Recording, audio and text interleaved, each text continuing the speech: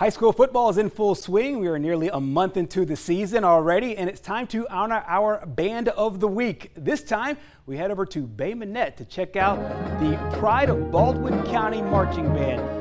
More than 100 students make up this talented group. Tiger Band always looks to have fun and provide a really entertaining halftime show to the fans each Friday night. The group is led by drum major Caden Smith and band director Josh Howard.